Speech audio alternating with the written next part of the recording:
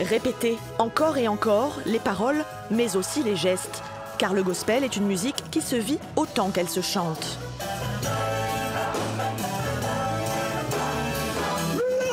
Certains sont là depuis les débuts, il y a 20 ans, quand l'ensemble ne comptait encore qu'une quinzaine de membres.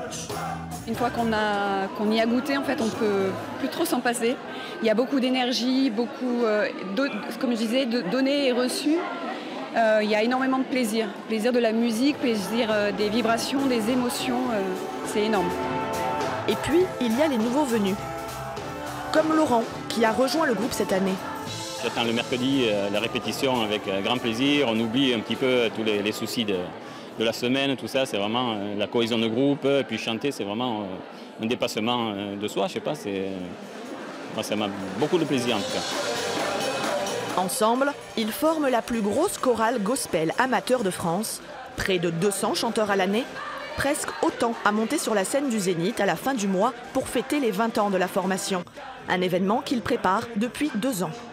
Le but du jeu, justement, dans la gestion du groupe, c'est qu'il n'y ait pas trop de pression autour de ça. Même si c'est un zénith, on est là pour se faire plaisir, pour faire plaisir et pour vivre intensément chaque, euh, chaque morceau qu'on va chanter.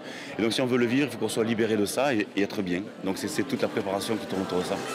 Et pour se libérer du trac, rien de tel que l'énergie du groupe, une énergie communicative au service de composition originale à retrouver le 26 mai au Zénith de Montpellier.